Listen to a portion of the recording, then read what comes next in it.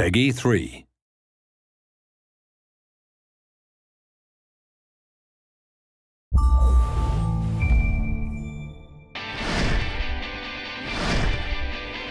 Sports Connection is the next generation of multi-sports games. It is a fun new way to connect with family and friends playing six of the most popular sports worldwide. The game features golf, tennis, soccer, American football, karting, and baseball.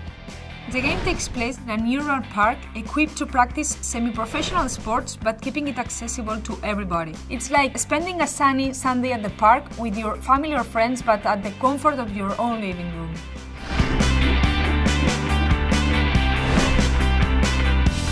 Wii U allows us to create a completely new type of asymmetrical gameplay. This means that what you play on the TV is completely different from what you play on the gamepad itself. This works really well in some sports like baseball, where the player will be able to enjoy two totally different experiences whilst playing on the TV, with the Wii Motion Plus as the batter or the gamepad as the pitcher and catcher.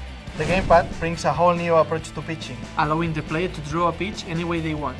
A pitcher can be creative, strategic and experimental, but also must be precise for the best and fastest pitches.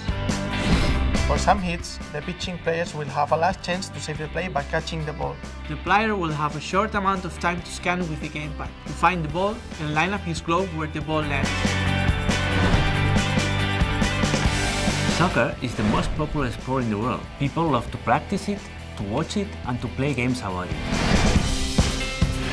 The gamepad brought the possibility of new gameplay during the regular matches, so we are using the touchscreen in key moments like penalties. Let's say that the player draws a line to define the ball's trajectory and speed, while other player uses the Wii Motion Plus to play as a goalkeeper. The game encourages players to pose a ball often, to sprint in specific moments and overtake their opponents without losing the ball, and to use the aftertouch to apply incredible effects to the shots. It requires time to get the best of your team, prepare extraordinary plays and score amazing goals.